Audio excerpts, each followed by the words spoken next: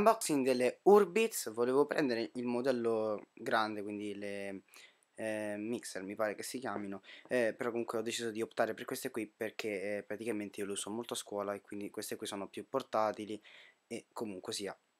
Eh, sono le mie prime bits quindi ho deciso di non spendere più di tanto il prezzo è di 99 euro su Amazon o comunque in altri posti si possono trovare a meno però eh, girano molti fake quindi state molto attenti fidate solo di Amazon per quanto riguarda l'acquisto di bits allora vediamo la confezione. Innanzitutto vi dice qui i gommini. Comunque vedete qui eh, si dice che eh, grazie a questo disegnino qui possiamo capire se sono vere o false. Questo non lo so io perché non me ne intendo. Vabbè comunque qui troviamo il disegno delle bits comunque bits che eh, queste qui sono davvero fantastiche. Ma come ovviamente tutte le bits eh, hanno, sono molto rinomate insomma. Vabbè leviamo la pellicola eccole qua allora. Eh, cerchiamo di capire come si aprono. Ecco ok. Allora, è a scorrimento. Ok qui troviamo il logo lucido delle bits. Poi qui bisogna tirare. C'è una calamita.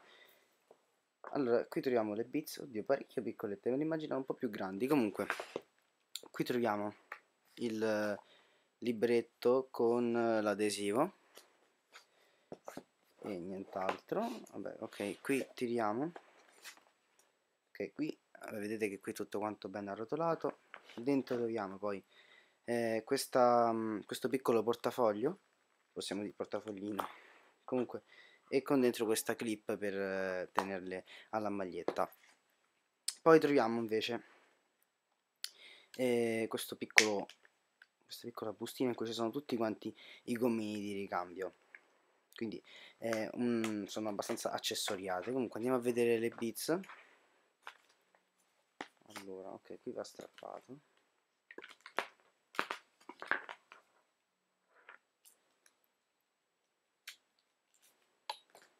Ok eccole qua.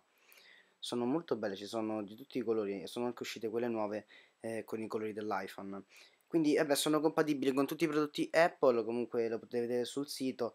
E comunque queste qui sono le cuffiette molto belle di design davvero fantastiche cavo piatto eh, in nero ovviamente. E io usavo sempre le cuffiette della Apple quelle dentro l'iPhone. Quindi queste qui sono le mie prime cuffiette in ear perché io sinceramente le detestavo. Comunque questo qui è il control talk. Comunque noi ci vediamo con la recensione in un prossimo video. Mettete like al video se vi è piaciuto ed iscrivetevi al canale